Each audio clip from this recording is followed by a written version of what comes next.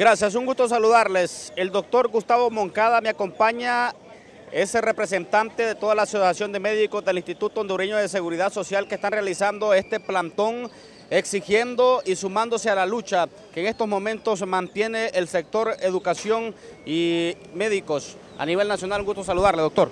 Muchas gracias, muy buenos días a su amable teleauditorio.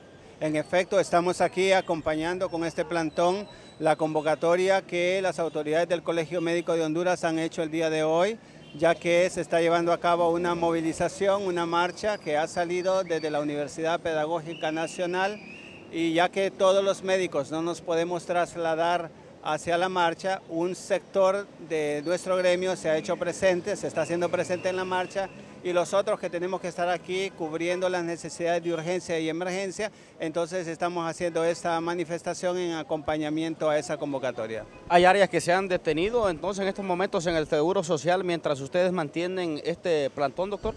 No, eh, seguimos dándole cobertura a todo lo que son las áreas de emergencia, estamos atendiendo todo lo que son atenciones médicas y quirúrgicas de emergencia, eh, las 24 horas del día, los 7 días de la semana. ¿Van a seguir ustedes con estas acciones de presión hasta lograr el objetivo y dialogar con el gobierno para la derogación de estos eh, PCM que también a ustedes como sector salud se ven afectados?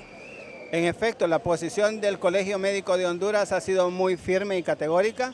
Eh, todo pasa por la derogación de los decretos presidenciales conocidos como PCM y una vez que eso se logre, eh, el Colegio Médico de Honduras está muy bien dispuesto y listo para poder participar en la transformación del sector salud. Entendemos que es una verdadera necesidad la transformación de los sistemas de salud y educación, pero no vamos a permitir la privatización porque nosotros estamos defendiendo el derecho a la salud y a la educación pública del pueblo hondureño. Bueno, muchas gracias. Doctor, a esta hora se mantiene este plantón por parte de los médicos del Instituto Hondureño de Seguridad Social, quienes con pancartas en mano están exigiendo eh, pues eh, que se deroguen estos eh, PCM.